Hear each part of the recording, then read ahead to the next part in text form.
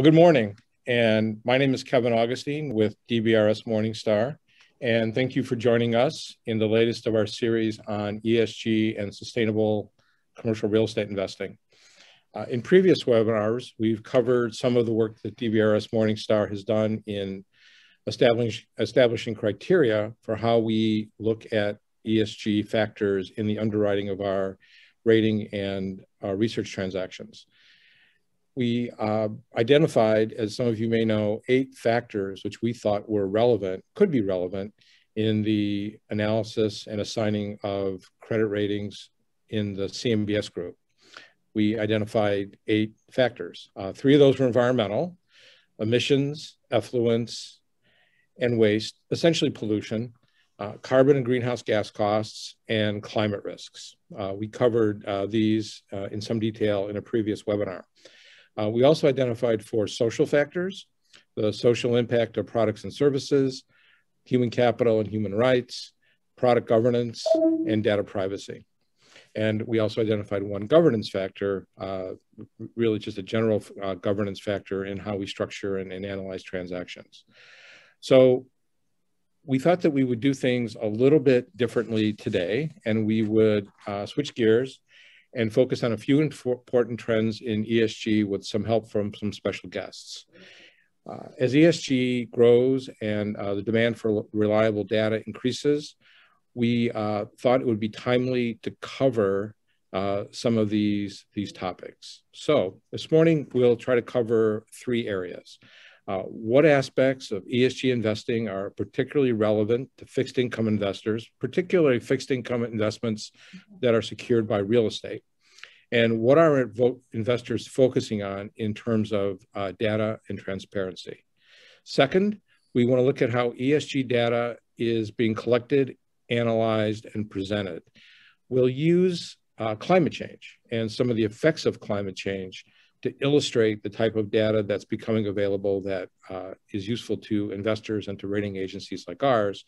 And then finally, uh, we will look at how rating agencies incorporate this data into their credit rating process and how uh, the increases in volume and quality of data will impact securitized transactions. Uh, we have some great panelists this morning.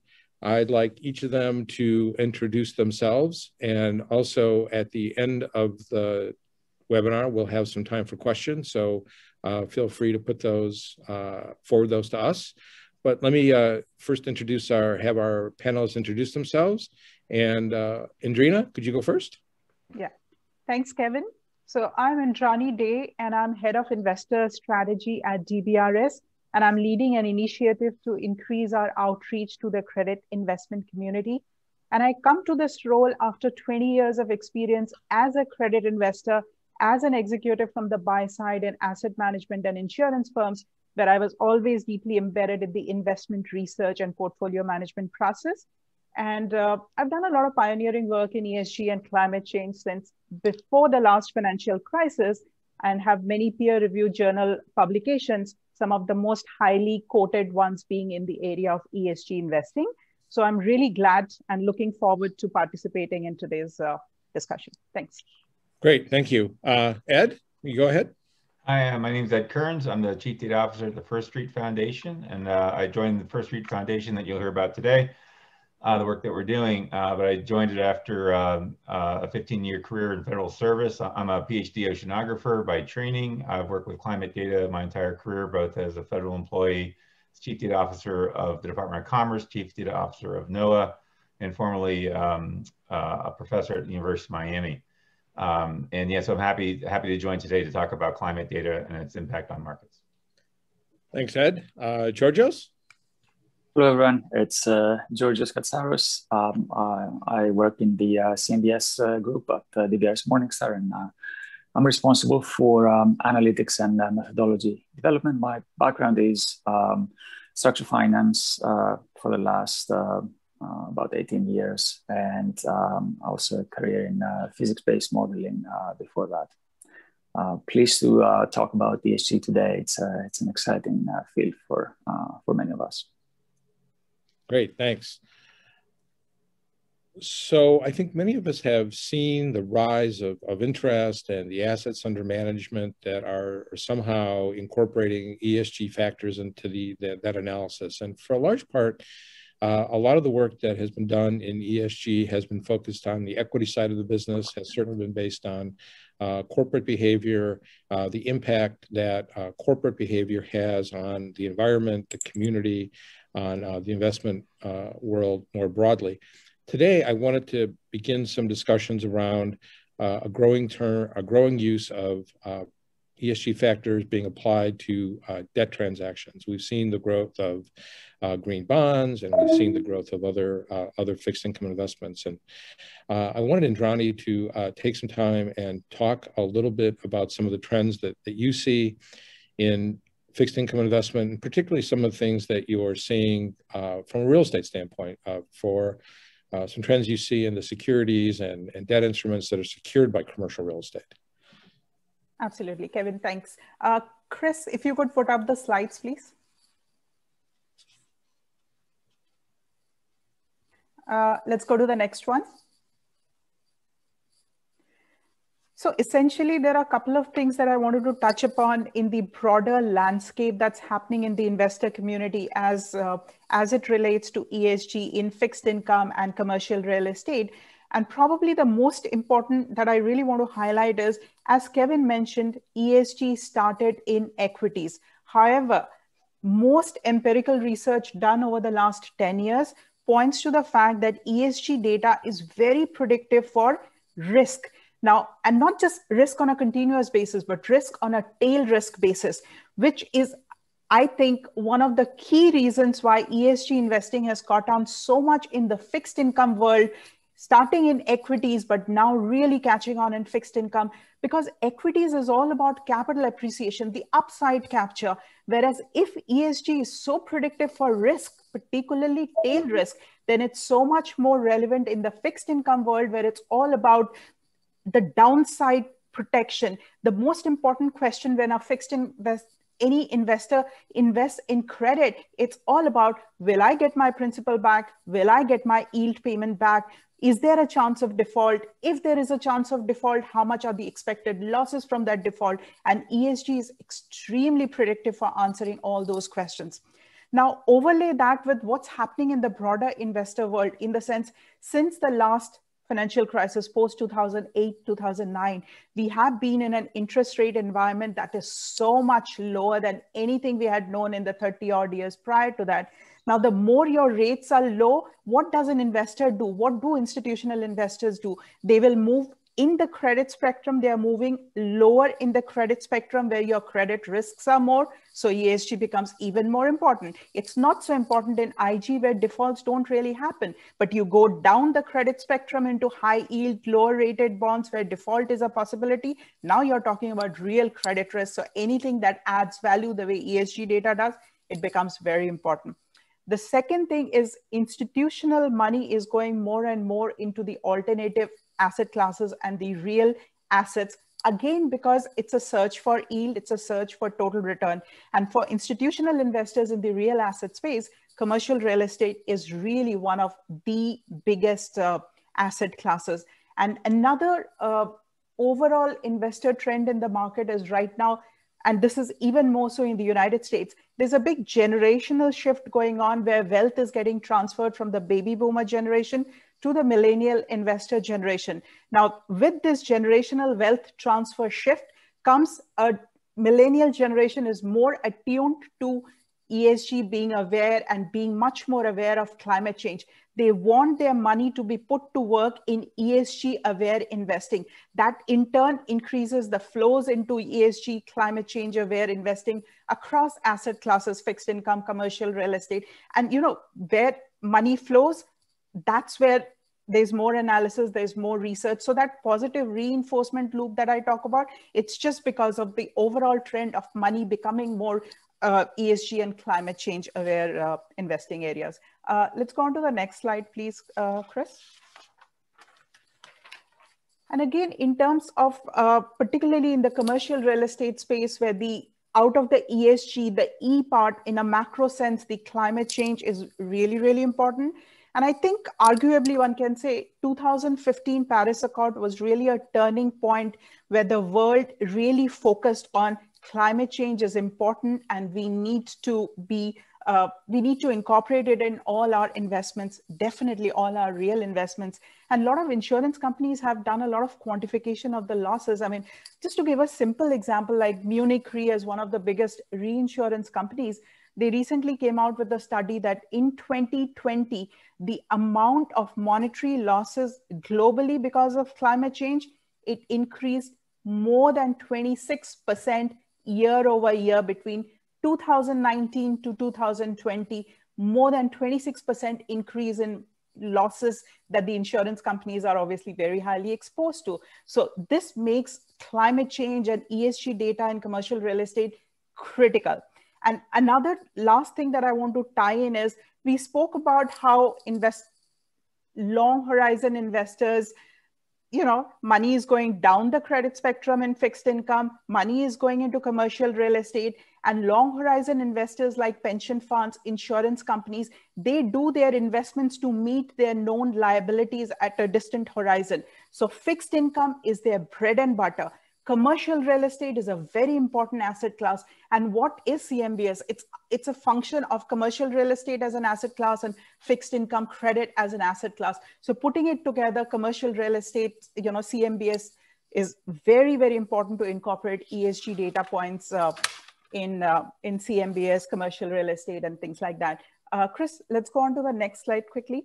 And we can talk about many data sources, but and we'll talk about the green bonds and structured finance. But very quickly, I wanted to highlight climate change as it happens to commercial real estate. There are two channels that we all know about. First is the physical impact.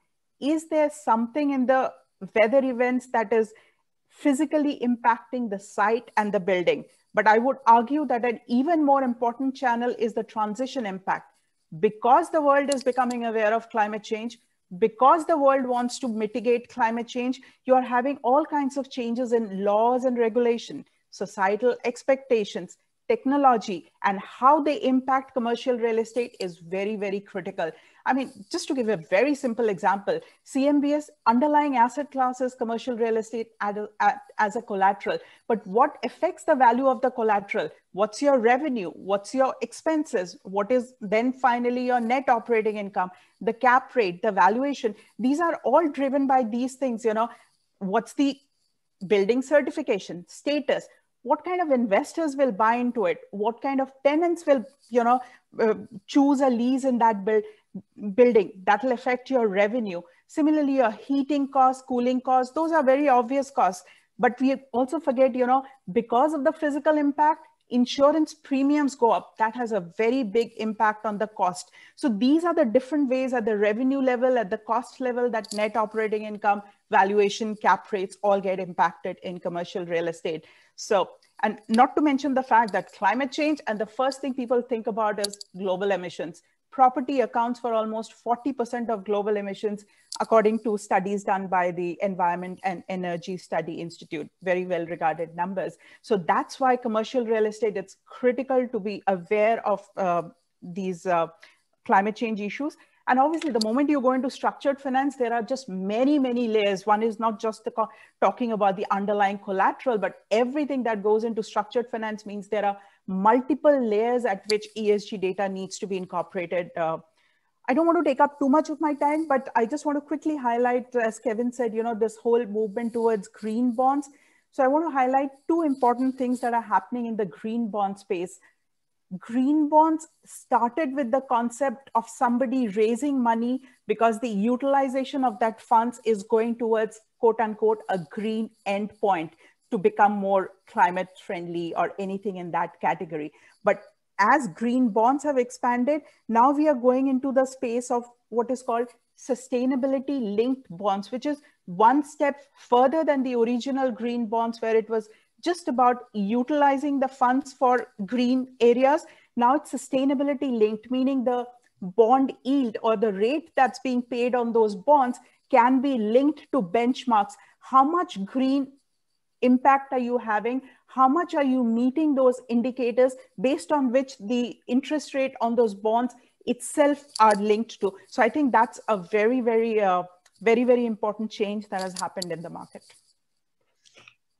Great, Indrani, thank you. Uh, I, would add, you know, two two more things that we, we've noticed as well is you know, you mentioned that we had looked a lot at the characteristics and locations of specific buildings and collateral and how that would have get get analyzed and what that affect what those characteristics might have on our ratings process. The other thing that I've seen is increasingly attention paid paid to what are communities doing to uh, mitigate flood and, and climate risk in their own, own community. So does a community have an aggressive flood prevention program? Are they looking at innovative ways to protect their coastline that would in turn protect their real estate? So that analysis goes sometimes beyond the individual buildings to a broader community context. Um, I saw a presentation recently too that, that linked some of the, the changes in uh, laws and regulations and building codes um, around fire prevention in, in America's urban cities. But, uh, you know, the pitch has been made that the um, one of the big ways to combat flooding and climate change risk is to really pay more attention to how some local codes and local zoning laws are are put together and and uh, take that tact, tact as well. That's great. Thank you. Thank you so much. Uh, I wanted to to move on next to uh, have Ed talk a little bit about uh, not only their platform on how they've looked at climate change and how they've looked at risk, uh, but also talk about the data that flows out of that and how that data can be used um, in analysis of commercial real estate. Uh, you know, when we look at looked at our criteria, I could pick, for example, our uh, effluent and pollution factor. We, you know, we as CMBS investors and uh, CMBS rating agencies have pretty extensive experience with how do we gauge the impact of pollution and contamination at a given building we're beginning to see deeper, broader, more comprehensive data on how we can affect, uh, affect, how climate change affects these transactions as well. So I thought this would be a great segue for Ed to uh, lay out some of his work in uh, in climate change and flooding, and then how that that has evolved into a, a database that's uh, becoming increasingly useful. Ed, you want to say a few things on on your program and and how you've collected data and what you've done with it? Yeah, fantastic. Yeah, thank you. Uh, yeah, Chris, if you put up the slides, I'll launch right into this. Um, yeah, next slide, please. So uh, First Street, let me tell you a little about First Street uh, Foundation. So we are a nonprofit, uh, and we were formed to communicate climate risk to individual Americans, basically to let the um, uh, to let the individual American know how climate change is going to impact them uh, personally.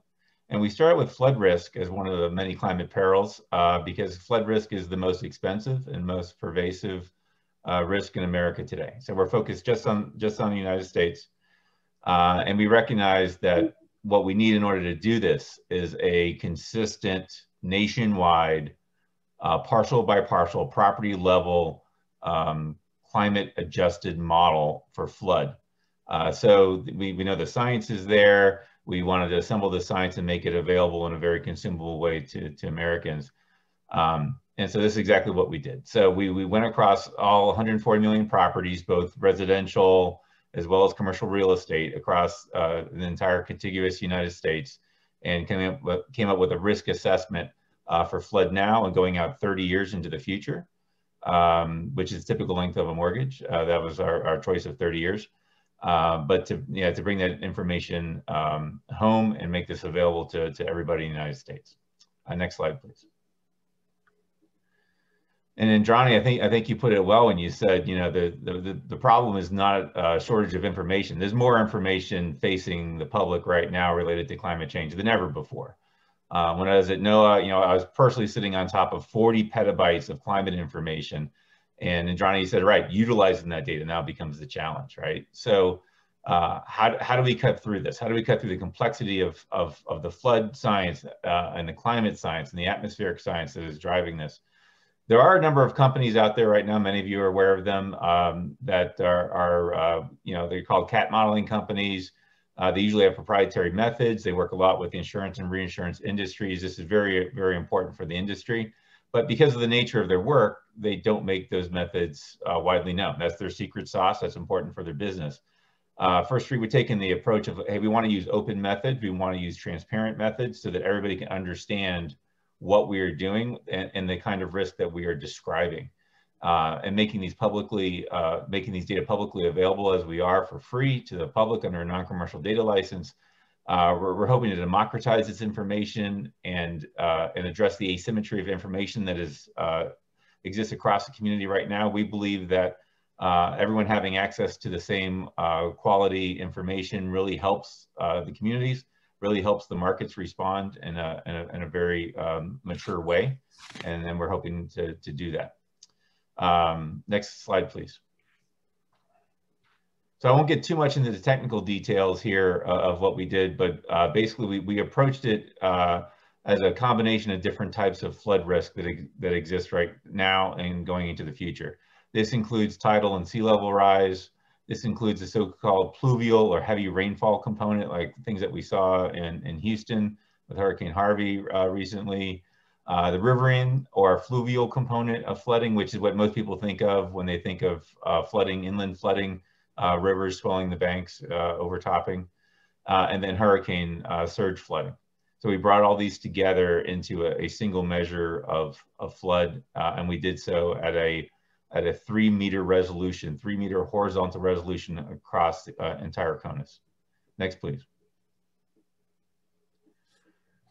So we partnered with a number of um, um, uh, da data partners such as Lightbox, Mapbox, uh, and Microsoft to assemble all the information that's publicly available on a parcel by parcel basis across the United States. Uh, we know where all the buildings are on each one of those parcels. We know the shapes of the parcels. Uh, we, we we uh, um, compute a two-dimensional hydraulic flood model that will give us the depth of water on the surface um, under a, a, range of uh, conditions, um, uh, everything from the one in a hundred year flood um, down to every other year along the coast so we capture the tidal flooding. Uh, and then we, we merge those uh, so-called hazard, what we call hazard layers, how much water there, there is on the surface under different conditions, with the, uh, the parcel information. So we calculate the maximum depth uh, at, uh, within those parcels. We calculate the, the flood to the building footprint. If there's a building uh, on the property, if there's not a building on the property, we calculate the, the maximum depth of flooding at the centroid of that property. Uh, next, please. So kind of summing up what we're trying to do here. So we, we use a lot of different data inputs uh, from the federal government, from open data sources, from NOAA, from the USGS, from NASA and others. Uh, we bring climate models. A lot of you have heard about climate models, haven't been, you haven't used them probably uh, in your work perhaps, uh, but they are, they're very complex to deal with as well. So we, we use the climate models along with our data inputs and we, and we, we bring these, link them together within the flood model. Uh, on top of the uh, hazard layers that I just talked about, we also layer in uh, property and damage claims information on top of that so we can tune up a, uh, an economic analysis on top of that. And our goal is to, is to boil down all this complex science into two numbers. One is a risk score for that property between one and 10. Is it at low risk or is it high risk? Uh, and that's an aggregated risk score over a 30 year period. And the other, um, the other thing we do is we calculate a price. We, put a price tag on that risk, the expected losses uh, that uh, that a residential homeowner could expect uh, in that in that or commercial real estate owner uh, could expect at that property. And we have found that these, you know, that these simplified metrics are are very are very useful, uh, not just for individuals but also for governments and businesses as well. Uh, next, please. So we've created a uh, website called floodfactor.com. Uh, you can go there right now. You can type in your address and, and take a look at this. So this is, uh, these data are being uh, made available to the public freely under non-commercial terms and conditions, a non-commercial data license at the three meter resolution. Um, so we are, we're very proud of being able to communicate this, this flood risk and, um, and if we have time, we can go through this or something today if there's questions about this in particular, but you're, you know, um, and take a look um, you know, uh, on your own uh, computer or on your phone at home. Uh, the other thing we're also doing is integrating this information with um, with folks like Realtor.com, Redfin.com, Estately.com. So when people go to look to find out information about real estate, they are they are able to discover is served up right next along to their with their tax information and such for that, that property, information about their flood risk and about their climate risk. And it uh, we relate the the, the government's um, you know FEMA's estimates for their flood risk as well as First Street's estimates for their flood risk now and in, into the future. Uh, next, please. So this, uh, like I said, we, we layer an economic analysis on top of this. Um, we are using the Army Corps of Engineers depth damage curves that have been derived. So uh, these curves are valid only for residential properties. Um, however, we are, we are currently uh, developing uh, a similar kind of approach for commercial real estate right now with uh, some engineering partners. So we'll have that available soon too. Um, and we, we rely on HouseCanary, another one of our data partners to, um, to estimate the, uh, the value of that property.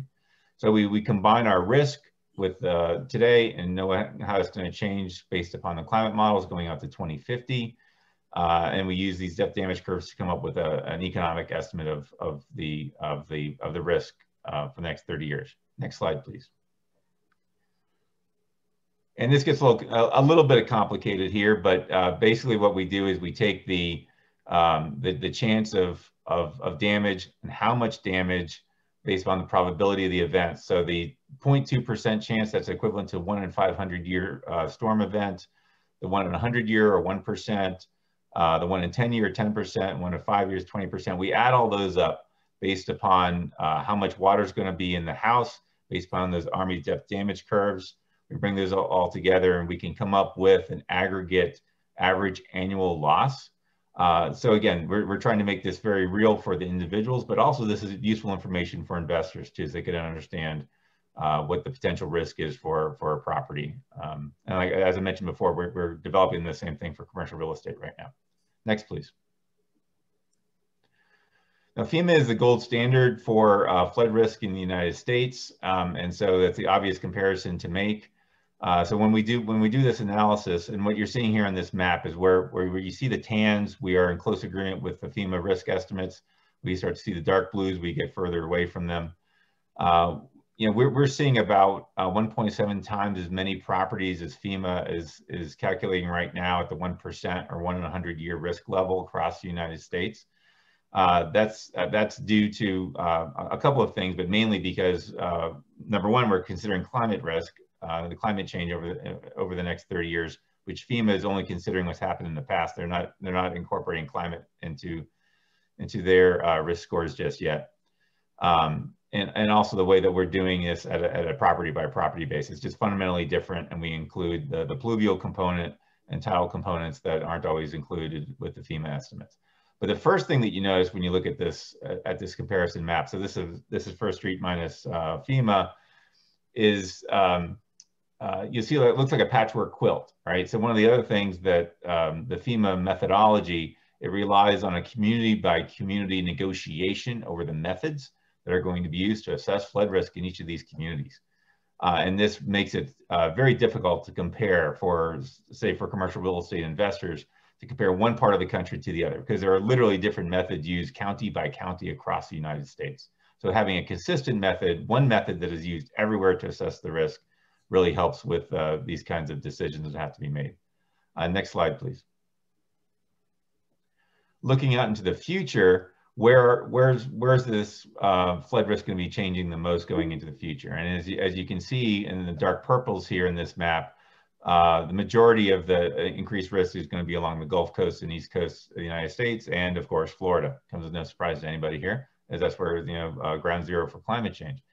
Uh, but when you add up what the average annual losses are around the United States, uh, right now in 2021, it's about $20 billion. We're estimating that 30 years into the future, with the increasing AAL, uh, we're going to see that risk rise to about $34 billion across CONUS in 2050. Uh, next slide, please. Uh, flood is only one of many risks um, that, that's facing the United States uh, due to climate change. Um, uh, NOAA uh, does a good job of, of, um, of tracking uh, what they call their billion dollar disasters across the United States and, and, what, what is the cause of them. Sometimes it's winter storms, sometimes it's hail, sometimes it's hurricanes. Uh, but in aggregate, we know that, that flooding is number one, and then wildfire, drought, and others are, are coming behind. So for at First Street, we are taking these into account. We're in the middle right now of computing a wildfire risk on a property level across the entire United States. Uh, again, the science is there, and the data are there, and so we're doing the computation and boiling it down into that, the same kind of uh, property by property risk score. Uh, next slide, please. So one of the challenges we have as a nonprofit, of course, we're doing a lot of work and we're supported by donor money right now, but we do recognize, uh, as I said, we have a primary mission from our donors is to communicate um, uh, climate risk to Americans, but we also realize that for uh, commercial uses, industrial uses, there's a lot of application of these of these data. So we are uh, we are um, uh, basically selling commercial licenses uh, to businesses that they can use these data for for investing or insurance purposes or real estate purposes, whatever whatever it might be. So while the data are facing the public for free, they're available in bulk for the kind of analysis that is necessary to be done. As you'll notice on flood, the floodfactor.com website, it is a, it's a visualization tool. It is not an analysis tool. Um, but now um, uh, making these data available in bulk to companies that want to uh, analyze them uh, for their purposes. That's uh, we have an API and can also deliver bulk data um, in text files as well. Uh, next slide, please. And I think that's it. Yes. All right. Sorry to rush through that, Kevin. There's a lot of work in there. oh, great, Ed. Thanks. Uh, I was curious. you know, certainly flood is is something that's talked about a, a lot. I've seen a lot of presentations and work, particularly that ULI has been doing on um, on heat and drought. Um, I'm curious, what are some of the, the, the data sources that you draw on or can uh, that or, and can produce on some of these other topics? I mean, certainly you mentioned that flooding is one, but talk a little bit about um, some of the longer term trends you see in uh, in drought and heat and uh, and wildfire risk. Yeah, so the um, so we've been measuring these, uh, you know, uh, observations from from NOAA, USGS local governments, uh, uh, in the United States, we have a wonderful network of, of sensors up and down the coast and across the, the uh, across the country. So we're able to um, derive what like the, what the precipitation frequency, how these things are changing, how, how uh, heat index is changing.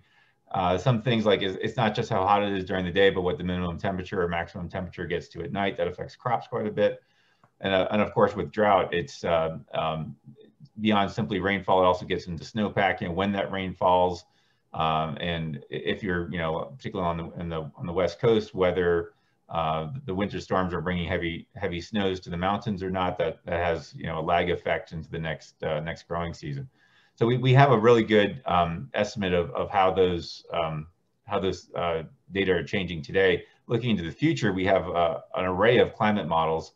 Um, uh, uh, the most mature ones are called CMIP5 uh, right now. So that's uh, the ones that have been heavily analyzed over the last couple of years. There's a new group of models coming out now. The latest, greatest are called CMIP6. Um, and uh, the scientific community is working our way through those, those right now. Um, which models um, do well in some areas versus others is always a, a challenge and usually an ensemble approach is taken, taking multiple models and bringing them together. Uh, and what we did for um, for the analysis I just showed is that we considered about 20 different CMIP5 models and looked to see um, again in, in, aggregate how they are um, how they're changing it going out to 2050 and how we can scale our current observations based upon what the what the CMIP5 models are saying. So we can expect the precipitation frequency curves, for example, to change um, you know, regionally across the United States, and we use that to drive the the, the flooding model. Uh, the same approach can be taken with heat uh, and drought uh, and wildfire as well. When I look at your, your comparison between your data and FEMA, it, it, it kind of leads the question that uh, there are areas that you believe are more prone to flood, flood risk than FEMA, FEMA does at, at the present time, perhaps? And if that's the case, uh, what is driving that? Is it, is it rising sea levels? Is it, is it increased precipitation? I mean, what, what are the, what are the causes of that? Yeah, a lot of it is, is those increases in precipitation. So right now, so FEMA maps what they call significant flood hazard areas or SFHAs that many of you are familiar with. That's sort of like uh, the, the, general map where the one in a hundred year flood uh, is, is judged to occur. That's based on river and flooding in the past for the most part. Uh, so the uh, bringing in that uh, the heavy precipitation, it, it, opens the door to all sorts of, uh, of, of, other um, phenomena that are not picked up in the FEMA maps uh, for example, flooding in, in the Appalachians, um, you know, in, in, in, small streams and creeks, Uh, we know that you know about 70% of flood claims are occurring outside of the FEMA SFHAs right now, right? So clearly there's something that's amiss. FEMA knows this as well. I'm not, you know, I'm not uh, here to beat up FEMA. And FEMA is undergoing a, a, major restructuring of the National Flood Insurance Program, big revision that they call Risk Rating 2.0. Uh, that is in the throes of all the of all the politics that's necessary to, to get through government reform of, of such a large, expensive project. So uh, FEMA is trying to make some of those corrections that are necessary to bring these other other other pieces of information to bear, so that, that it can be um, these estimates from the government can be more accurate. And so, in the area of heat, I mean, what are some of the things that you might see as effects of the these increases in heat? Does it have to do with crop production? Does, can it affect migration? Can it, can it affect growth in some cities that have you know grown before? Yeah, that, that that's a big question, Kevin. That's a, great question because as as as populations move, uh, are they going to be responding? Are they going to be moving away from uh, from coastlines? Are they going to be moving you know to the cooler areas? Uh, the the quantifying um, the impacts of heat, you know, like a, on, like on a property by property basis, is quite a challenge for us. We're actually uh, have a an MOU signed with the National Institutes of Health. They're going to we're help we're providing our data to to them they're helping us understand how to communicate some of this uh, information that's more tied perhaps to, to human health and human behaviors than it is to real estate uh, properties uh, in, a, in a physical sense. But we, we already know that some, you know, from, from studies that uh, the, the kind of pervasive um, and lower frequency, or, or, I'm sorry, I should say higher frequency events, like tidal flooding, for example, um, these things, uh, sometimes called nuisance flooding, these things have uh, sometimes a greater impact on population movements and real estate prices than the lower frequency high impact things like hurricanes and such, right? So and, and big heat events. So um, it's kind of like a constant pressure on populations, and people are responding, and you can actually measure this. Yeah. Sure. Well, great. Well, well, thanks, Ed. Uh, so we we've looked at some of the trends in ESG investing, particularly as it relates to uh, fixed income investment and uh, how that impacts real estate fixed income investment. Uh, we've talked now about the, uh, the, the, growth and, and, management of data related to climate risk as an example. Uh, now we move to the next phase, which uh, DBRS, Morningstar, and, and other rating agencies, for, for that matter, have very quantitative uh, predictive models for their work that, that's based on um, arguably decades of data. And we now have uh, increasing interest for in how ESG factors impact that work. Uh, for the, the, ultimate question is, what would um, a description of an ESG factor look like and what kind of data would be needed to look at in some detail how ESG factors and all these things we've talked about begin to actually affect credit ratings. And so toward that goal, um, I wanted to introduce Georgios and have Georgios talk about uh, a more crystallized approach on how do we look at this data, how do we begin to incorporate this data into our analysis of ESG risk in our, our credit rating process. So uh, Georgios, could you begin to lay out um, some of the groundwork on, on, on how over time uh, we increasingly use this data and make good decisions about how ESG factors impact our analysis? Sure. Uh, thank you, Kevin. Um, so I think in order to do that, we should uh, we should probably very quickly cover how we have developed, you know, uh, credit risk uh, models and, um, you know, particularly how we rely on historical data. Um, uh, Chris, if you want to pull up uh, the, uh, the deck there, slide two would be a good starting point. So, you know, very quickly, commercial real estate, right? So bottom-up property analysis is central to, to what we do, right? Individual property characteristics, um, but also microeconomic factors like you know rent occupancy, you know uh, rent concessions, escalations, and all of that, as well as macroeconomic factors, interest rates, relative values, regional growth, um, national growth, and, and so on.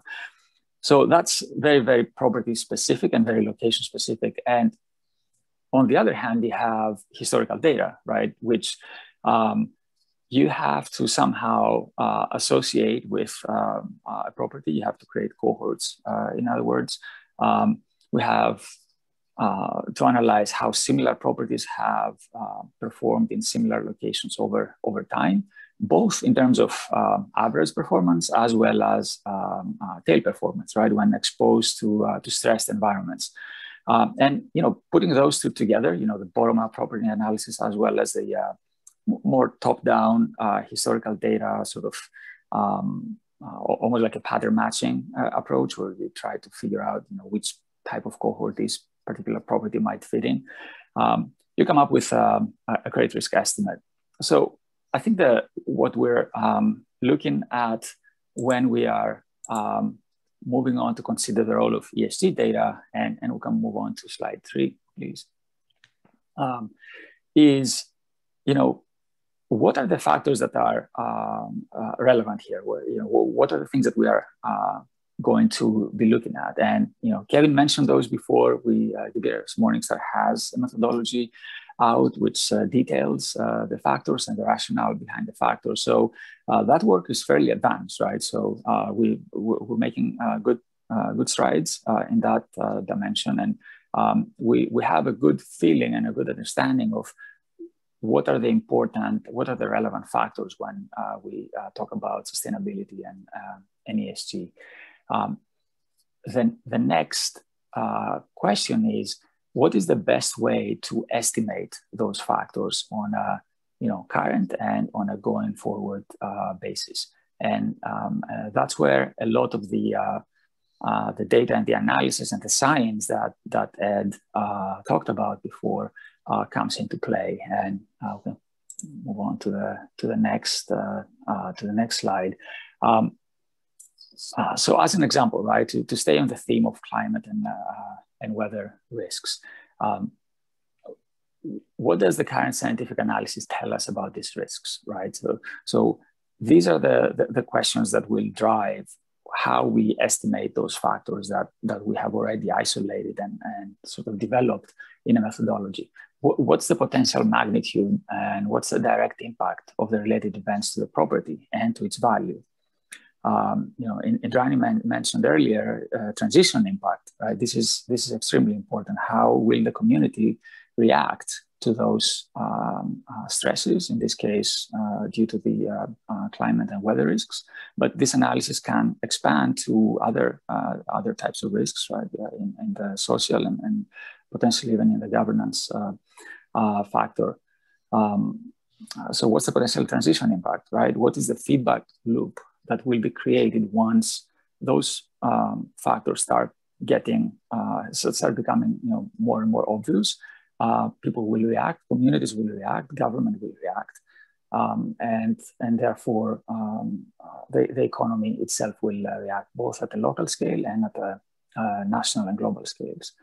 Um, and finally, how do I assess these risks consistently across properties, geographies, and jurisdictions, right? Because um, uh, it's one thing to uh, be able to come up with um, uh, an estimate for a given property, but if we can't compare it to estimates across um, our you know pool, our securitized pool, or across uh, hundreds of different pool uh, hundreds of different pools that we may uh, have in our investment book, then our overall assessment of ESG risk becomes intractable, and that's where some of uh, the challenges that uh, Ed pointed out um, uh, pointed, pointed out earlier become uh, relevant. So it's very important to have a consistent um, uh, layer of, of, of this data so that we can generate consistent estimates of risk.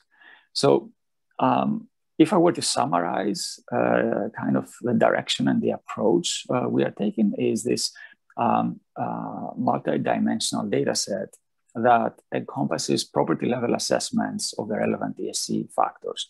And uh, this data set is, uh, is built upon and driven by uh, the types of uh, data and models that um, uh, Ed uh, described earlier, um, as well as by um, databases of property information, you know, potential property level certifications that might be in place, um, energy consumption levels, uh, pollution levels, greenhouse gas uh, emissions, and uh, you know, a myriad other um, other factors that uh, go into play here. So um, if, I, if I were to sort of summarize uh, our approach, it would be effectively this um, attempt to uh, create a layer of data that we can uh, query and um, create consistent scores across our property, um, uh, across the property data in, uh, in our rating book.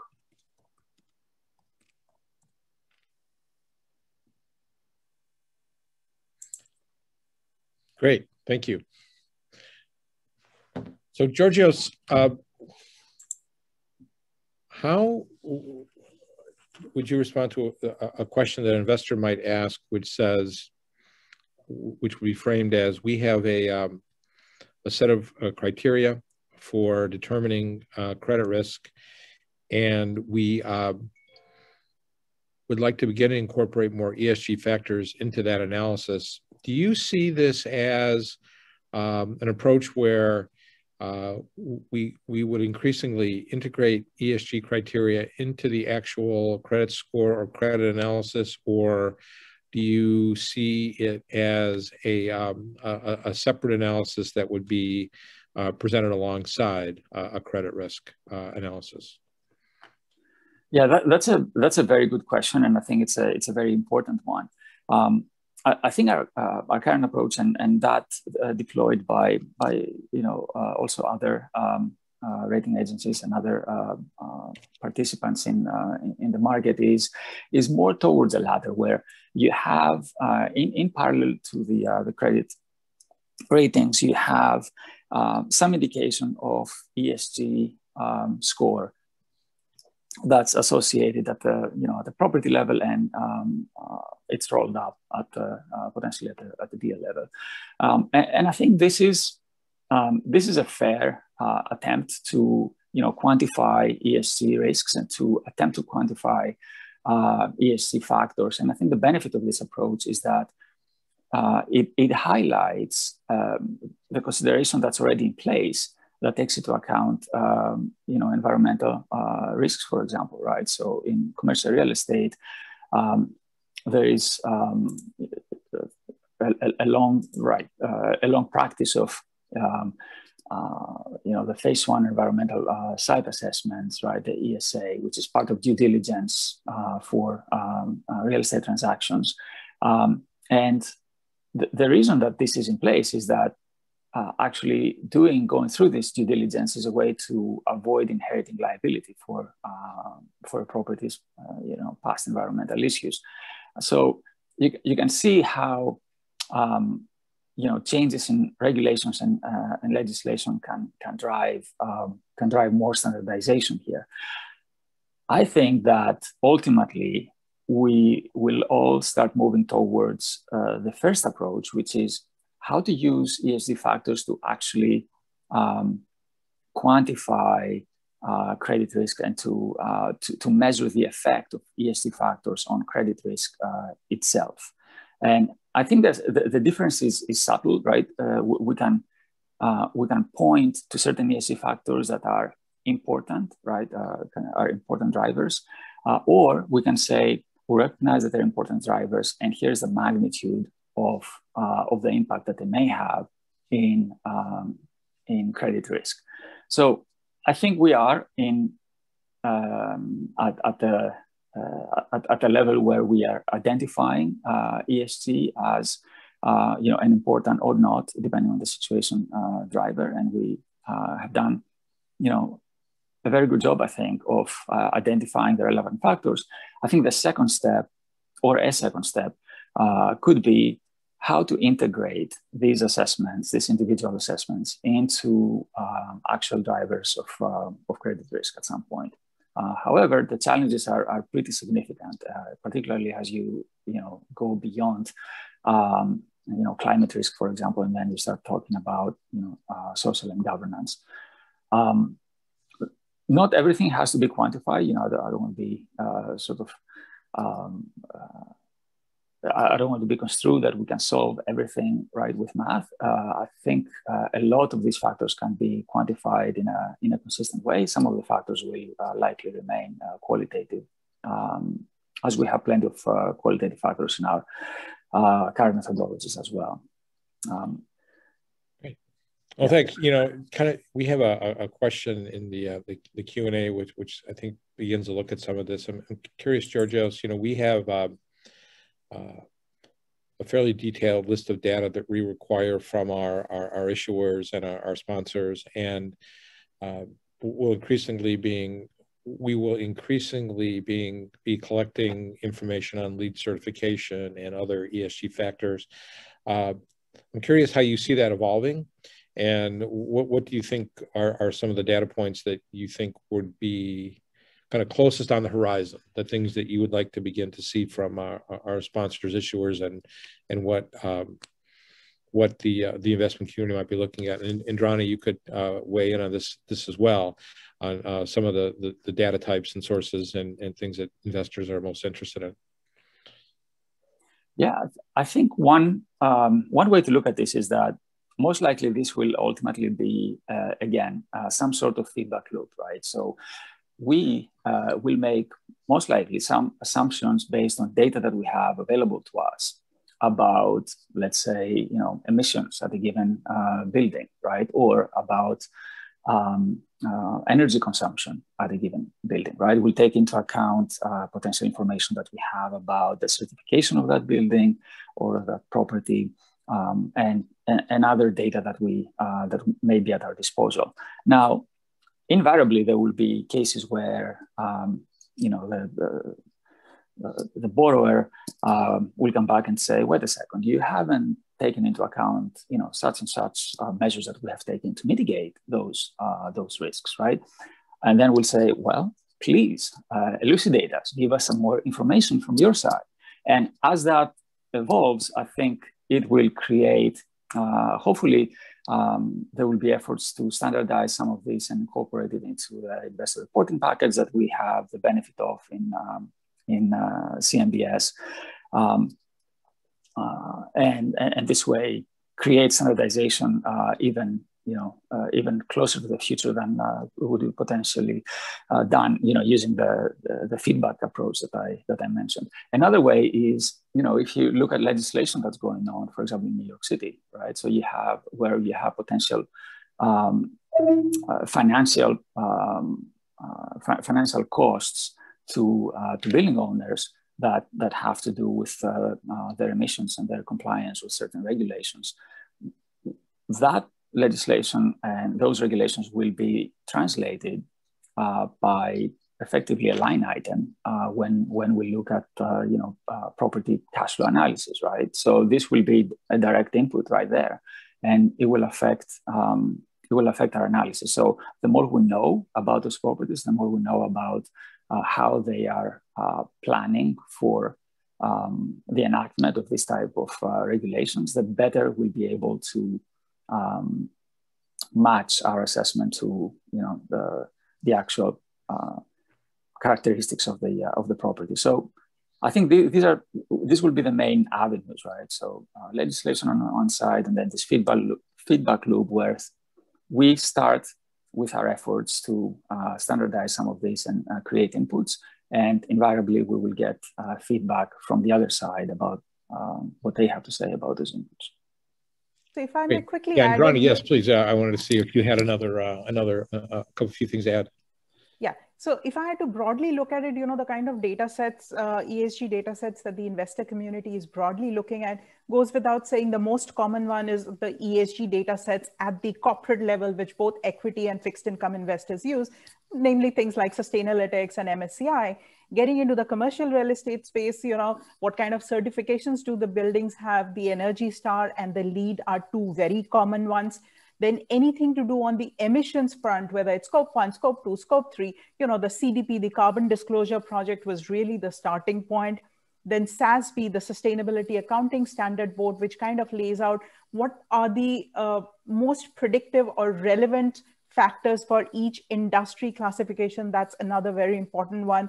We talked a lot about the physical change physical impact of climate change and the transition impact. And that whole definition of how climate change impacts in these two channels, the physical and transition, that was really laid out by the TCFD Task Force on Climate Related Financial Disclosure. So that's really important. Then coming specifically to the real estate and related asset classes like infrastructure, the global real estate sustainability benchmark, that's very commonly used both for benchmarking and reporting framework for, you know, property companies, RE investors, property funds, and so on and so forth. And again, on a broader climate change, I mean, Ed did a great job of pointing out the flooding risk and those kind of things. There are other similar databases that kind of talk about climate change vulnerability indices, and there are other uh, data providers like Verisk Maplecroft, which does it on a similar basis. So, I mean, there are just much there's a huge amount of data. 10 years back we were grappling coming back to the same point that ed you touched upon. That's very critical to you know i think how investors are looking at it. We had a shortage of data. Today we have tons of data. Now it's a question of utilizing them to get the most predictive analysis as investors do investing. Obviously you're looking out into the future. How do you utilize the data to make anything more forward looking more predictive Oh, great, great, thanks. So we've uh, we, have answered uh, the questions in the the Q and A box. Uh, I thought I would close this out by uh, asking each of the panelists to give us uh, a quick idea of what they think might be an important change or event or industry trend uh, that that might happen related to to, to, data and and fixed income real estate investing over the next year or so. Uh, I think I guess we'll start with Ed and and, and see Ed uh, give us your thoughts, a little bit of a crystal ball look into the future here of what we might expect over the next uh, next year or so. Yeah, uh, I don't know if I have much of a crystal ball when it comes to all the economics part of this, but you know, definitely seeing how, uh, as a you know, formerly being inside the federal government, seeing how the federal government is responding right now under the new administration and you know, uh, under previous administrations, um, climate change was being tackled as a, as, a, as a science project, right? NOAA, NASA, USGS, others were leading this effort. The science continues on, but if you look to see who's leading right now, it's Treasury, it's Federal Reserve Bank, right? This is a fundamental change in how government are responding uh, to the challenge of climate change. And this is going to trickle down into, into all sorts of financial and economic uh, ways and I think there's going to be more of an impact. I think I think you mentioned early on, Kevin, you're talking about community too. Um, that you know, impact on communities is going to go beyond individual properties. Um, and you know, and one thing, and I neglected to mention this, but the uh, this is one thing we've incorporated into our model are those community adaptation features like levees and, and, and flood walls and pumps. We're, we're including all those effects, right? So trying to guide communities to protect large numbers of homes, to protect uh, the economy, of these cities and towns and these counties is, is going to be really important. Um, and and at first we were trying to we're trying to respond to this too. We're we're, we're trying to come up with a, a measure to, to George's point. Not everything can be quantified. but We're, we're, we're going to take a crack at it, right? To see if we can actually figure out um, some measure of, of, of community impact of flood. Because your house may be up on stilts, your, your house is not going to be flooded. But if the entire town, all, all the all the infrastructure, the roads, the utilities, the supermarkets, everything else is underwater, there's going to be economic hit um, uh, to that community due to climate change that we're also going to try to, to quantify as well. So I think I think there's going to be a, a, a, an effort to try to quantify more things in a holistic way so the communities can plan and respond. Great, uh, Georgios.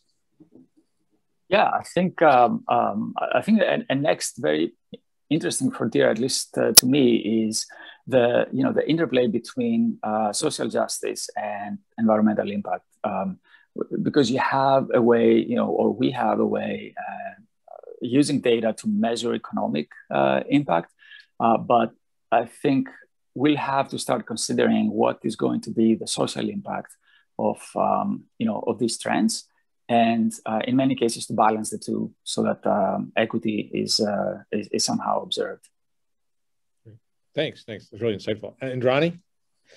I would take it a step further that today we have a phrase called ESG investing. Nobody says financial investing. We always incorporate financial data into, you know, anything to do with investing. I would argue that as the world realizes how predictive ESG and climate change data is to any kind of investing, any asset class, any part of the globe that you're investing in.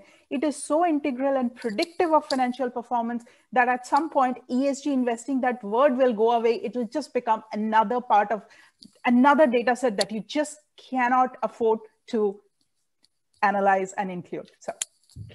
Great, thanks. You know, we've been looking uh, a little bit in our research about some of the links between some of the more progressive urban development models, call it new urbanism, smart growth, and how that becomes a little bit of a social factor as well. That, you know, this whole notion of not only looking at uh, environmental factors, but also social factors, which we talk about sometimes in terms of uh, just integration of, of, of community and uh, community engagement as an issue that will get um, get rolled into this uh, analysis as well. So I think it's just some very exciting times to look at uh, how right how ESG eventually will become another way that we evaluate risk in our analysis, and we use those tools to better identify externalities and and make that impact. Uh, well, this has been great. I, I, just really want to thank the panelists and, and thanks to people who submitted questions in the in the Q and A. Uh, we'll continue these with uh, more uh, ESG themed webinars going forward. But I just wanted to say thanks to all who um, all who attended, and a special thanks to uh, our panelists, which I thought was just absolutely great. So um, thank you all very much.